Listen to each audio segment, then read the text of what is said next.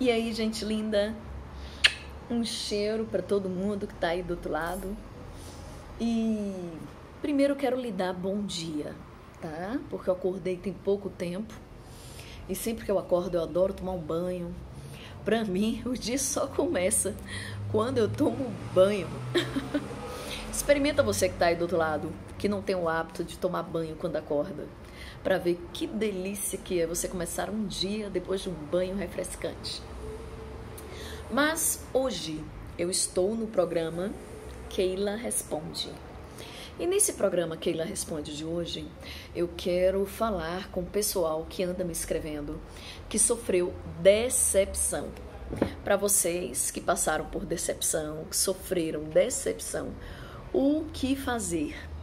Tá? Porque o pessoal fica me perguntando o tempo todo. O que, que eu faço, professora, quando eu sou decepcionado, quando eu sou ferido.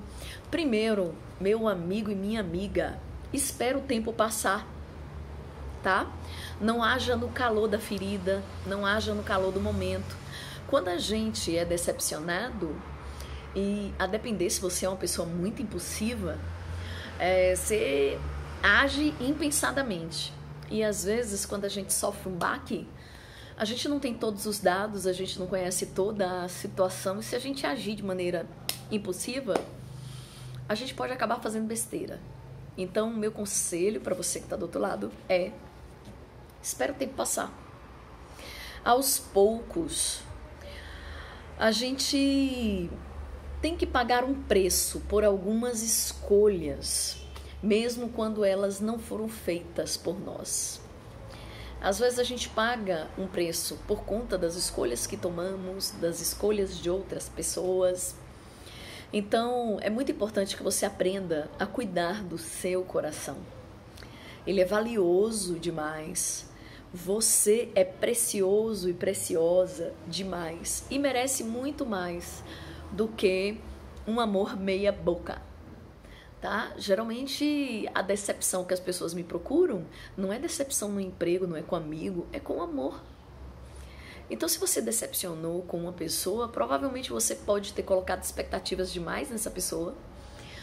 Ou essa. É, geralmente teve aí o exagero, sim, das expectativas em excesso.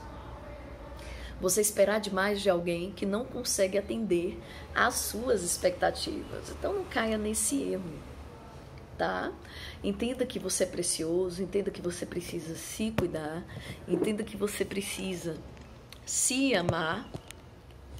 E o tempo é o melhor remédio para todas as coisas. Tenha paciência, vai passar e você vai estar pronto de novo para outra, para uma nova realidade.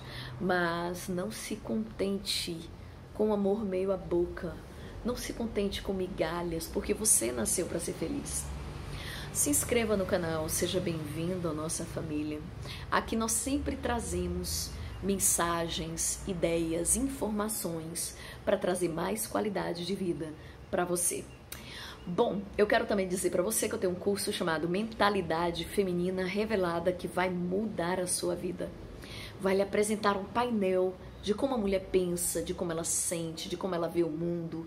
Você vai aprender a identificar perfil psicológico de cada mulher só pelo comportamento dela. Então, você quer esse curso? Aqui embaixo na descrição tem um link.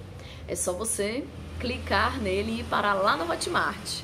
O nome do curso que está lá é Mentalidade Feminina Revelada. Corre! O que, que você está esperando?